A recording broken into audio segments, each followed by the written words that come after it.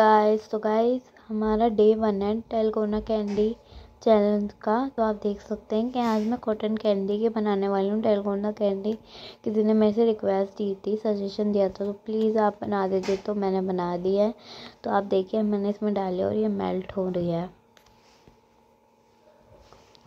Guys एकदम तो नहीं हुई मतलब थोड़ा टाइम लगा, फिर आराम से मेल्ट हो गई है। कल आप देख सकते हैं कि ये मेल्ट हो गई हमारी तो अब जो है ना, हम इसमें बेकिंग सोडा ऐड करेंगे। तो अब हम इसमें बेकिंग सोडा डालने जा रहे हैं।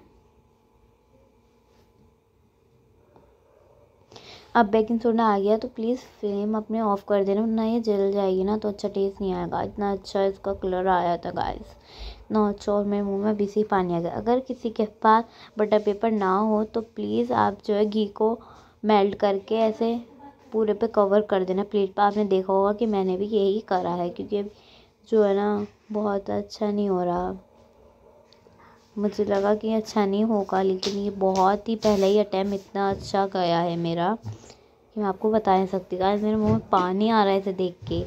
तो गाइस मेरा हाथ जल गया था, मैंने निकाला ना तो अब फिर हम इसमें शेप दे रहे हैं। ओके गाइस देखिए, हमारा शेप आ चुकी है तो अब हमारी शेप देखिए, हमने ट्रैक्टर की दी है और अब मैं इसको निकालने जा रही हूँ। मैंने सोचा हैंड में तो सब निकालते ही हैं तो मैंने हैंड में नहीं निकाला, मैंने फॉक से निकालना चाहा, क्योंकि हैंड में तो नॉर्मली निकालते हैं। तो कुछ अलग भी डिफरेंट होना चाहिए ना हमारा तो इसलिए हमने थोड़ा डिफरेंट किया, हम फॉक से ही निकालेंगे और हमारे वन वीक चैलेंज है ज़रूर देखिए और गाय रोज़ ब्लॉग आएँगे तो अगर आपकी डेल कोलोगंडी फेवरेट कैंडी है तो कमेंट में बताइए।